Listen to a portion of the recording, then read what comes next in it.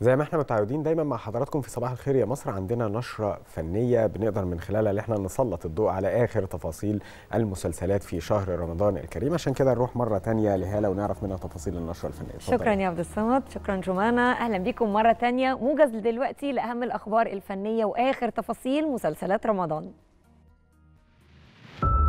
أنا مش هخلي الصبح يطلع على جعفر العمر ما هو انت مش فالحة غير في السهوكه والنحنحه يا أختي. نبدأ كلامنا بالصلاة على الحبيب.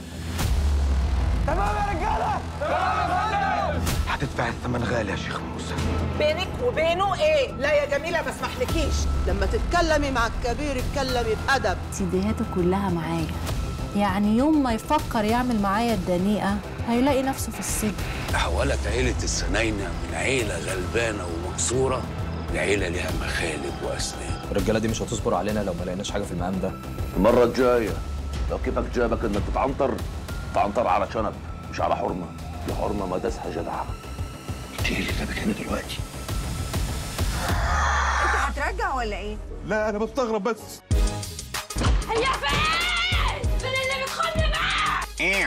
موسم البط ابتدى ولا إيه؟ أرجع لك تاني. هخلي لك الدمج للركب.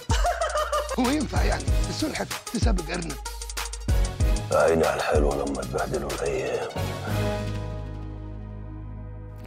وبنبدأ نشرتنا الفنية مع الفنان أحمد فهيم اللي اتكلم عن مشاركته في مسلسل جعفر العمدة وقال إن دور سيد أخو جعفر العمدة شخص طيب مش بي مش بيكتم السر.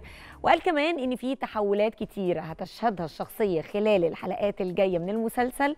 الفنان أحمد فهيم قال كمان إن مشاهد الكوميديا اللي عملها أثناء أحداث المسلسل ما كانتش مقصودة ومش مترتب لها. المنتجة مها سليم أعلنت عن انتهاء تصوير جميع مشاهد مسلسل علاقة مشروعة واحتفل فريق العمل بتصوير آخر المشاهد بحضور أبطال فريق العمل عبر تقطيع تورتة ضخمة احتفالا بانتهاء التصوير. والفنانة حنان مطاوع قالت إنها سعيدة جدا بردود الأفعال اللي جات لها عن دورها في مسلسل سر الباتع وقالت إن المخرج خالد يوسف واحد من الأسباب الرئيسية اللي دفعتها للموافقة على المشاركة في العمل خصوصا إنه كتب سيناريو محكم وعميق وإنه كمان كتب كلمات ومعاني بعمق وعناية شديدة وسعيدة بالتعاون معاه جداً. سيناريست محمد عدلي قال إن الشركة المتحدة للخدمات الإعلامية عندها اهتمام كبير باللي بتقدمه للطفل وده أمر عظيم يحسب لها. وده شفناه من خلال أعمال متنوعة زي يحيى وكنوز والمحمية ورسالة نور. كمان حسين مجدي مخرج مسلسل الأطفال المحمية قال إن المسلسل حقق اللي كان مطلوب منه وحظي بإعجاب الأطفال ونجح في جذب الانتباه بتاع الأطفال.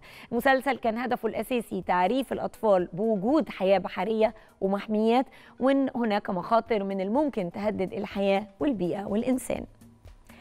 والفنانة فريدة سيف النصر قالت إنها سعيدة باللي حققته في شخصية سكينة ضمن أحداث مسلسل عملة نادرة وقالت دور سكينة من الشخصيات الصعبة وكان بالنسبة لي نوع من التحدي.